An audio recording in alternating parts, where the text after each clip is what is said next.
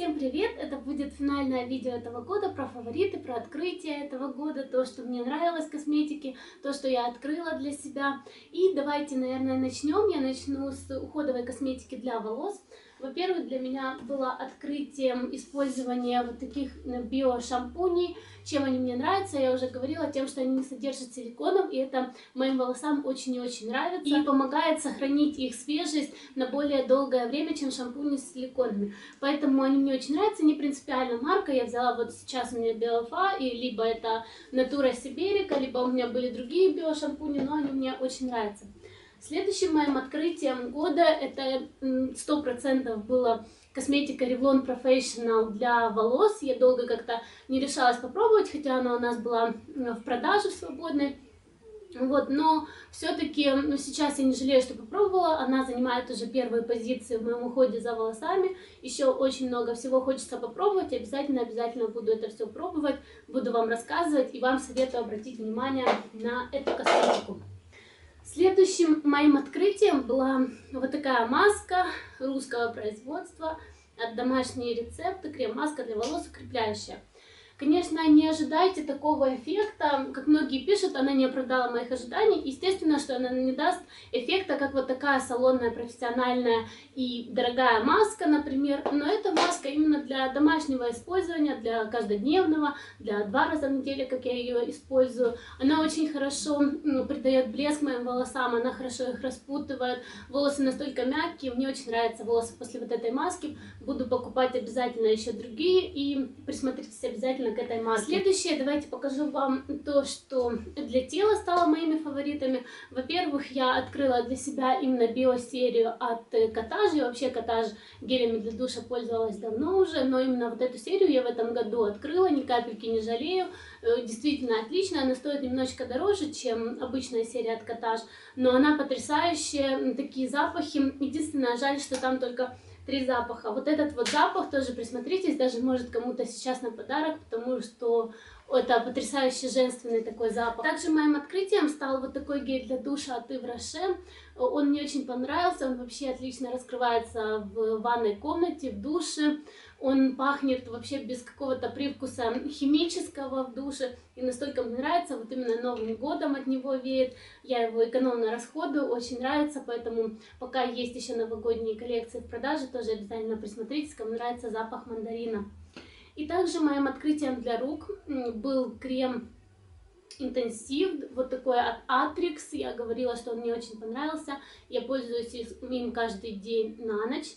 Мне нравится, как после него вот на следующий день руки целый день увлажнены и практически нет, если не делаешь какую-то работу по дому, просто нет никакой необходимости наносить крем, настолько его хватает. Тоже советую присмотреться, отличнейший крем. Далее в этом году, благодаря Веронике, я открыла вот такой монтирующий лосьон, который покупала три раза в этом году от Авен. Очень мне он нравится, действительно хороший.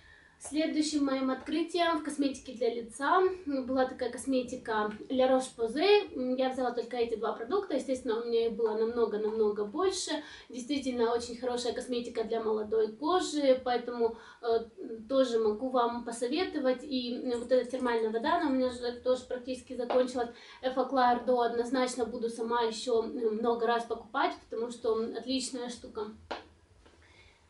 И также не открытием, а просто могу сказать, что фаворитом, потому что весь год я использовала разные скрабы для лица, но все-таки могу сказать, что вот этот скраб, я его снова повторно купила, у меня был несколько лет назад этот скраб, и могу сказать, что я очень-очень довольна, поэтому все-таки он остается у меня фаворитом. И фаворитом для глаз у меня стала косметика Матис, но я, к сожалению, забыла принести просто крем для глаз, но вы его могли видеть в моем предыдущем видео.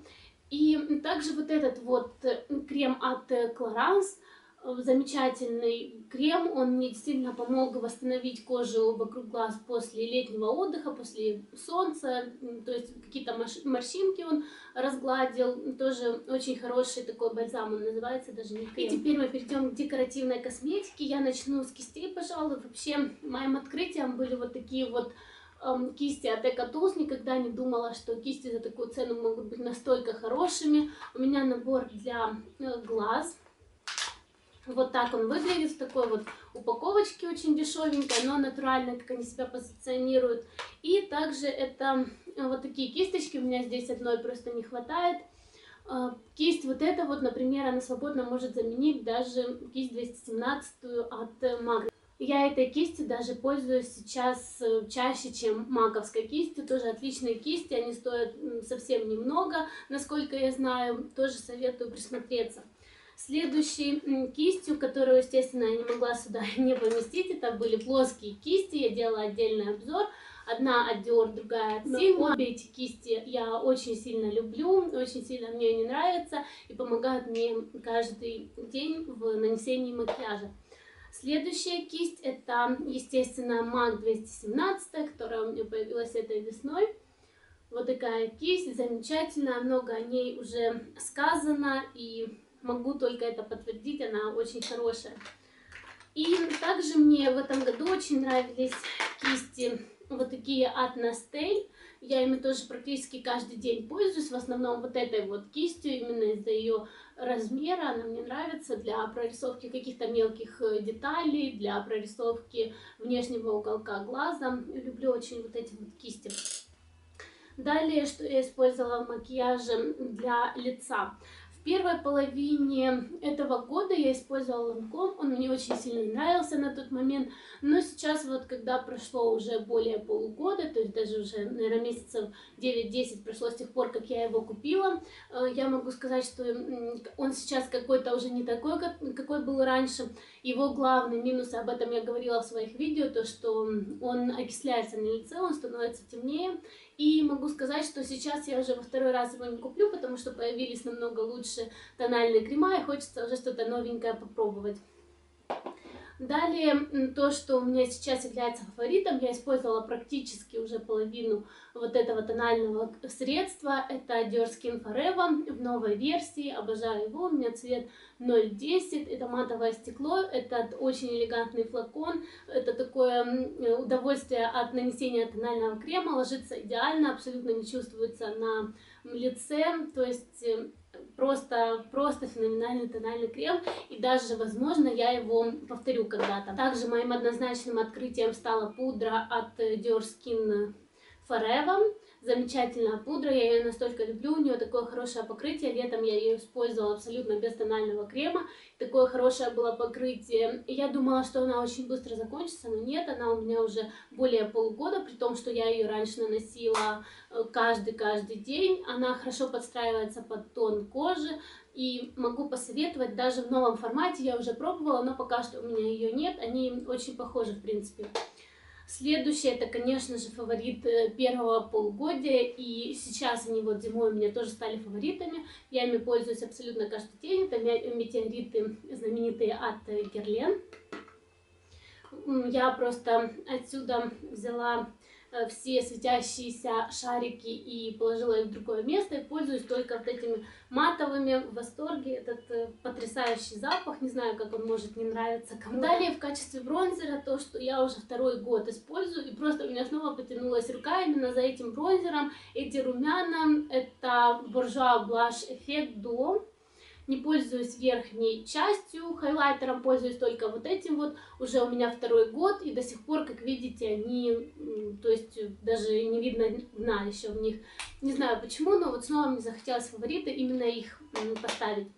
Далее это персиковые румяна от Art Deco. Как-то я в последнее время очень часто пользуюсь именно персиковыми румянами. Вот эти румяна я использую каждый день. На день это идеальный цвет. Цвет у меня 13 красивые очень. Следующее для лица это, конечно же, матирующие салфетки от э, Шосейда. Не могла их просто сюда не поместить. Честно вам скажу, что им уже, наверное, 10 месяцев, и они до сих пор у меня еще не закончились. Я не знаю, как так, как будто их здесь не 100, а как будто их, я не знаю, нескончаемое количество. Очень хорошие, обязательно повторю, как только закончится, потому что их уже здесь осталось очень-очень мало. Следующее, э, что я вам покажу тоже для лица, это консилер. Целый год я практически пользовалась Art Deco Mineral такой вот консилер. Довольно не захотелось покупать какого-то другого консилера. Он у меня единственный был весь год и до сих пор у меня не закончился. И тут даже видно, что его еще немножечко осталось, но тоже ненадолго. Очень экономичный, хорошая, очень плотная покрывающая способность. И, кстати, много хороших отзывов я читала и на косметисте, и на других э, косметических форумах. Читала об этом именно консилере. У меня цвет э, 0,4. Следующее я, наверное, вам покажу то, что я для глаз использовала больше всего. Это однозначно второй год подряд. Это Dior Show Extase тушь. Потрясающая тушь. Хорошая, нравится. Не знаю просто уже, что о ней говорить. Столько я о ней говорила. Следующее мое открытие это клиник. Это открытие осени, если не ошибаюсь. Это клиник Highlands. Вот такая с необычной щеточкой, белая красивая упаковочка, нравится. Буду еще раз покупать, как только она у нас появится. Из масс-маркета открытием, хотя недавно ее купила, но могу сказать, что это уже точно открытие, это Max Factor. Вот такая тушь, которой я на данный момент каждый день, каждый вечер пользуюсь, настолько она мне сильно понравилась. Это огромная-огромная щеточка, но она нисколько не мешает нанести хорошо тушь. Обожаю эту тушь, буду покупать еще. Также для глаз то, что я использовала, самое такое, самые любимые мои карандаши, несмотря на то, что у меня есть люкс, но я захотела показать именно вот эти два карандаша. Один это Art Deco, э, значит, водостойкий в цвете 10, и другой это, который я недавно буквально купила, он недавно появился просто, это цвет 98, такой бело-ванильный цвет, не чисто белый, то есть не придает какой-то такой мультяжности глазам, он именно подчеркивает э, э, красоту, свежесть э, глаз. Следующее также для глаз моим открытием стала база под тени от MAC в цвете Soft Ochre у меня. Я ее довольно много уже использовала, до сих пор я ей пользуюсь, она мне очень нравится. Не знаю, ничего у меня на ней не скатывается, тени замечательно держатся весь вечер, весь день. То есть иногда может э, даже продержаться сутки, если надо. Вот эта вот база, никаких нареканий с моей стороны нет. Следующая база, которая тоже недавно появилась, но однозначно тоже открытие, потому что пользуюсь ей каждый день с тех пор, как она в моей косметичке. Это база от Art минеральная, удобная, хорошо наносится тени, хорошо очень держится, хорошо тушуется. Следующее и для глаз, и для лица, то есть в качестве хайлайтера, э, это тени в цвете 400 от Нубы. Я их использую и, допустим, наношу их вот сюда вот, также я их использую в качестве главного оттенка на все веко, либо под бровь. Очень нравится сатиновый такой, э, как бы называть этот цвет. Он и не персиковый, он и не розовый, то есть под любой тип кожи. Если вы ищете хайлайтер, обязательно присмотритесь к вот этим теням, он вам будет служить очень хорошо, этот цвет. Следующее, то, что я в основном использовала для вечерних макияжев, если куда-то шла, это тени минеральные от Art Deco, которые, к сожалению, перестали выпускаться. У меня в цвете Snowflake 78. Очень красивый такой шиммер. На Новый год я снова их буду использовать в своем макияже. Тоже красивые очень тени, как пигмент получается они. Далее подводка для глаз тоже однозначно то, что я купила в феврале месяце, по-моему, ее это ателье. Я ее очень много уже использовала, она вот такая вся в дырочках, но я ее очень люблю и пока что менять не собираюсь, по крайней мере, еще 2-3 месяца. В тенях для глаз у меня, вернее, давайте тени для бровей, то, что я использовала для бровей, когда я купила вот эту вот коробочку, э, мне очень нравилось, но потом я все-таки поняла, что что-то не то. Здесь не коричневый такой цвет, это такой более оливковый какой-то цвет, вот, а вот это сильно темный для моих бровей, то есть я вот этот цвет больше использовала на внешнюю голову глаза. Вот эти тени я сейчас практически не использую, просто красивая вещица, просто красиво она смотрится в туалетном или на туалетном столике. Вот, но как по функциональности я бы не сказала, что они мне сильно нравятся. Вообще, то, что мне абсолютно нравится для бровей, это фаворит уже второй год в моем топе занимает. Первое место это тени для бровей от Ардеко в цвете 5, подойдет блондинкам, брюнеткам, шатенкам, абсолютно каждому цвету волос, каждой внешности, потому что с ним можно очень хорошо варьировать цвет. Поэтому тоже, если у вас их еще нет, присмотритесь обязательно. Тени для глаз, опять же, в первой половине года для меня открытием, моей любовью были вот эти вот тени, это именно Naked Eye Up to Face. Именно вот эта палетка, хотя у меня есть Romantic Eye, но я ее практически не пользуюсь, честно говоря. Использовала три первых цвета для дневного макияжа. Наверное, на протяжении месяцев двух-трех я только ее использовала, больше ничего на дневной макияж.